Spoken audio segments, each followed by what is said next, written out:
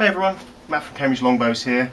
Haven't done a video for a while because I've been so busy with other stuff. Um, so I'll show you a couple of things. First of all, this is a, another axe head that we're working on. So it's quite a nice fantasy style axe head. Um, I spilled a couple of drops of Diet Coke on it. And within a few seconds, it had started to uh, rust it and eat into it. So yeah, Diet Coke probably not very good for you. Um, certainly not very good for your steel. Anyway, making a pyramid bow, and I had some lift off occurring on the, on the back of the bow. So I've opened it out, glue into it, back, compressed it so it's all held together. But just to make sure it's safe, I'm putting two layers of silk across it. So I'll show you what I'm up to because it's it has a little few problems. So with this, because of the nocks, the way the nocks are, the, the silk, if you just have it compressed and laid on, it, it doesn't fit flush here. So I've used a piece of wire passed through the edge of the silk just to pull this bit down so that it sits nice and flush.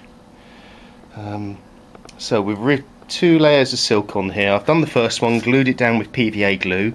I made the mistake of trying to use Titebond 3 and it looked like the bow had been dipped in mud. So yeah, it's disgusting. So this is the glue that I use. It's just good old PVA. So this is quite quite a nice pyramid bow. This one. It's got nice sort of colours coming through the handle. And once it's done, it'll be good. Um, the other thing I'm doing is I'm playing around. We've got so much hickory. I'm playing around with handle designs. So this is a nice short flat bow that I'm making. It's going to be really very short. And the handle, that plating isn't too bad, but when you get through to here, it's really very attractive. So I've just worked the hickory away down into this shape. So I think it's, it's I think that looks really, really nice.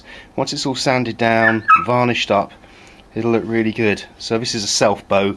We're just uh, going to have a little bit of colour, just a little bit of purple heart in the nocks, just so that it's a little bit more interesting. But it's very wide. It's a good two and a half inches wide.